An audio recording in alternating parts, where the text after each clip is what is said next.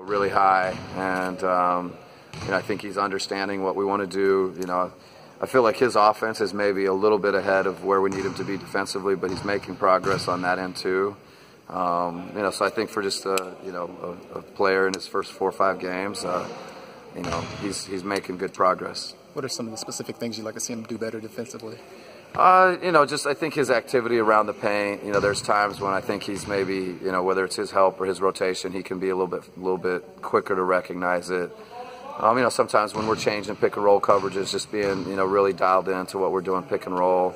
Um, you know, away from the ball. You know, it's uh, there's some, you know, in our league, there's fives that are shooting threes, and it's not just fours. And you know, at times you may, um, you know, get a little bit too disconnected. Um, but it's all, to be honest with you, kind of normal stuff. And you know, there's veteran guys that are kind of, you know, we're harping on them about the same things.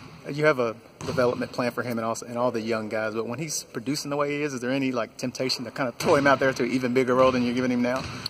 Um, not really. You know, there's I think you know he's earning minutes and you know um, playing him more and just giving him more exposure, but know, I'm happy with Dewayne too. I think those two guys kind of manning that five spot. Um, they're both doing well, and um, you know the way we play, it's uh, you know a lot of you just kind of take what the game gives you, and, and his role offensively is a lot just dictated by reads and um, reactions. So um, he's in a good place, I think, right now. We want to just continue just you know step by step progress with him.